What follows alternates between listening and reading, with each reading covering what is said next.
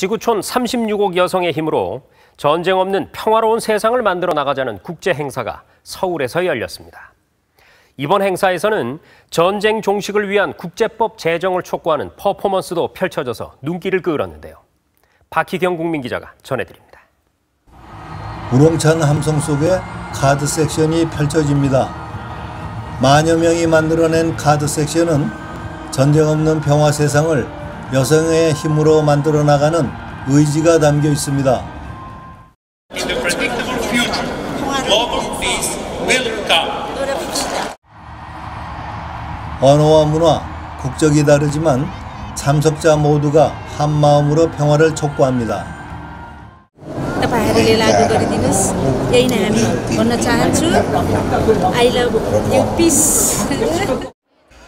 평화 실현을 위한 36억 여성의 역할이란 주제로 열린 포럼에서 세계 여성 지도자들은 세계 평화를 위한 전쟁 종식 국제법 제정을 강력히 촉구했습니다.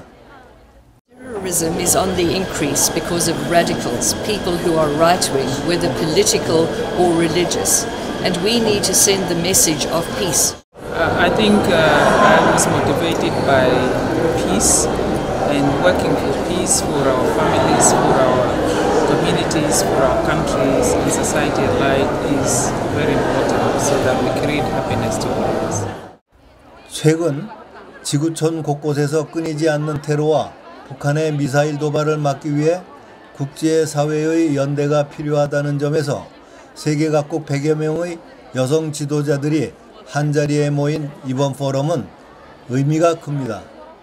전쟁 없는 평화의 세계에 살 수 있도록 지금 쉬지 않고 세계 모든 여성과 청년들을 모아서 이 국제법 제정 촉구에 박차를 가하고 있습니다. 전 세계에 200개 지부를 두고 있는 비정부 단체인 IWPG 국제 여성 평화 그룹은 테러와 전쟁 없는 세상을 만들기 위해 앞으로도 포럼과 서명 운동 등 다양한 활동을 지속적으로 펼쳐나갈 계획입니다. 국민 리포트 박희경입니다.